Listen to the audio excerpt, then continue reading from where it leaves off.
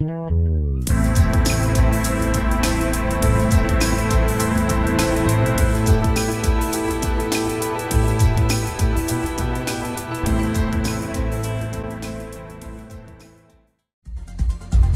в выпуске. Государственная акция по вручению юбилейных медалей продолжается.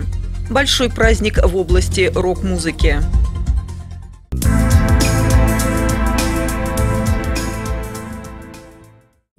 24 марта в молодежном центре состоялся литературно-музыкальный вечер «Героям Победы. Достойная память». Это мероприятие было подготовлено и организовано молодежными объединениями Десногорска в рамках празднования 70-летия Победы нашего народа в Великой Отечественной войне.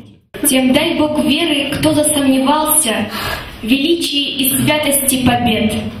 Солдатам слава, кто в живых остался, и тем, кого давно уж нет – нам вечно помнить их, безмерно близких, кто не дожил до наших дней, носить цветы к подножью обелисков, любить живых и жизнь еще сильней.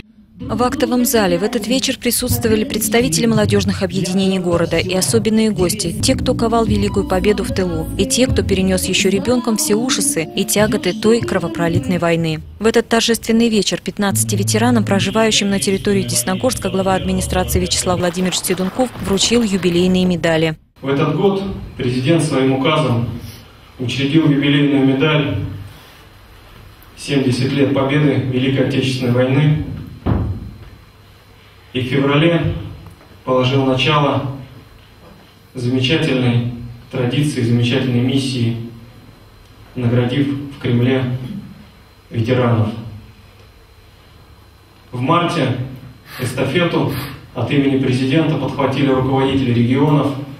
3 марта наш губернатор в Смоленске награждал ветеранов. Дальше эстафета распространилась по всей стране.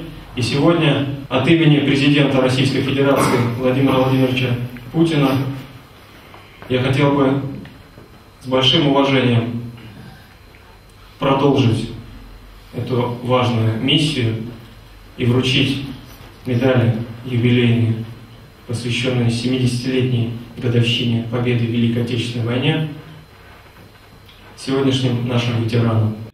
Медаль «70 лет Победы» была вручена труженикам тыла Александру Дмитриевичу Тупице, Марии Ивановне Костюшкиной, Нине Леонидовне Слепенковой, Марии Петровне Котенковой, Нине Моисеевне Фатеевой, Анне Петровне Никифоровой и Людмиле Ивановне Лубяновой. Также юбилейная медаль в этот вечер была вручена и бывшим несовершеннолетним узникам фашистских концлагерей Михаилу Ивановичу Титкову, Евдокии Дмитриевне Сереженковой, Леониду Ивановичу Захаренкову, Евгении Алексеевне Федоровой, Антонине Васильевне Кирьяновой, Ульяновой, Анне Семеновне Тигай, Василию Васильевичу Семенову и Татьяне Григорьевне Тюляковой. Подарком для ветеранов в этот вечер стало выступление творческих объединений молодежного центра нашего города. На сцене звучали стихи и песни о войне и Великой Победе.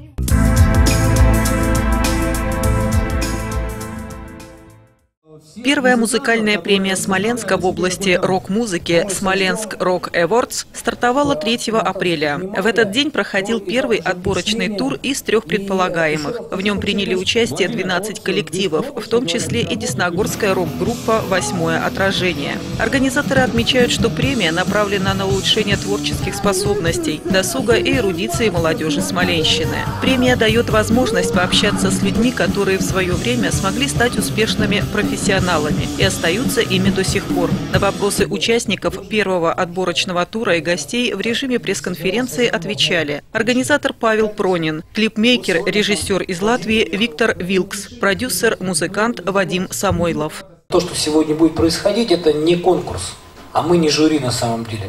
Мы а, простые парни, у каждого из которых свой вкус и свои предпочтения.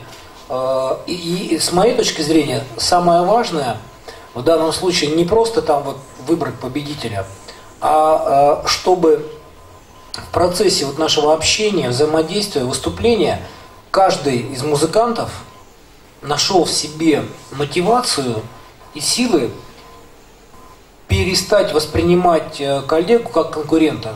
Потому что правда в том, что э, творческие сообщества должны быть дружными. Вот как это было в Ленинградском рок-клубе, как это было в Свердловском рок-клубе, в Московской рок-лаборатории и везде, везде, везде. Доброжелательная атмосфера, созданная организаторами и общение со знаменитостями, отличными преподавателями, знающими, как преодолеть трудности, вселила уверенность в музыкантов. Концерт получился замечательный. Десногорцы, открывавшие программу, также выступили достойно. Поздравляем! Стоит отметить, что в последующих турах музыкальной премии в области рок-музыки планируют принять участие и другие десногорские коллективы, входящие в творческое объединение «Восьмая нота».